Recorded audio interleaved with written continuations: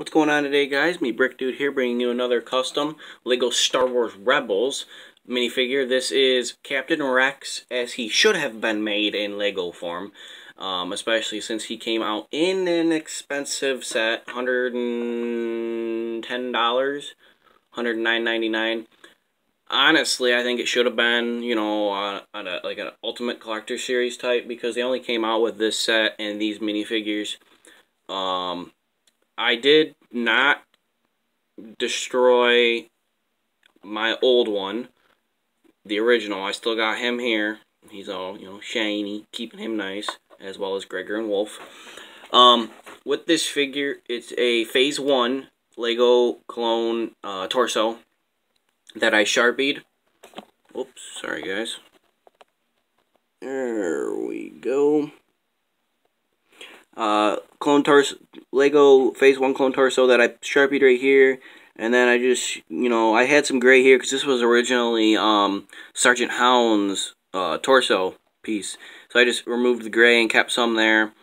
Um, moving on down to the legs. The legs are fully repainted by me in a darkish gray color to kind of match up with how Legos is. They're a little bit darker than normal but that's okay. Um, the sides are painted all the way around, painted white, and then I added some yellow. The reference picture I used, they had yellow on the the lower feet area here. Um, I gave him a Lego pistol. I just cut the scope and the back off right there. The scope's been cut off, and then I shaved it down, filed it down. Very nice and smooth.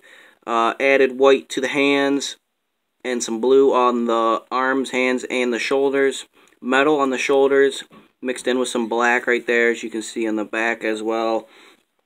Um, same on the other side. Uh, see what else. Uh, I did give some weld marks here and here. Um, where's a good figure? Let me grab a figure whoa sorry guys. Let me grab a figure here. Uh, use this guy again.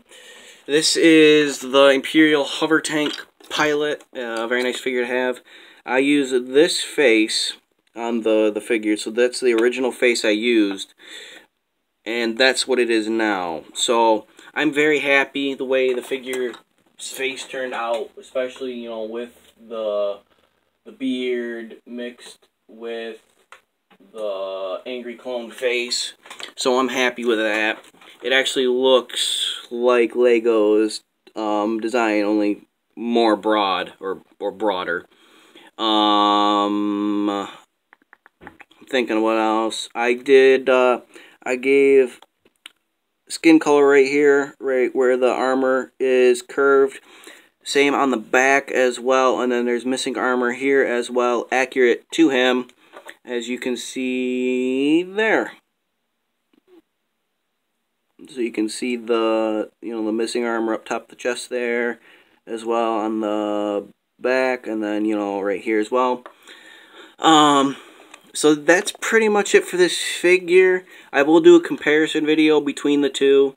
Um, I'm very happy with the way this figure turned out. And before I forget, guys, I did do a Clone Trooper Phase 2 hybrid helmet for uh, Rex. I just got to do the hash marks on here. I got to add some more to it that's coming up. That'll be in the comparison video.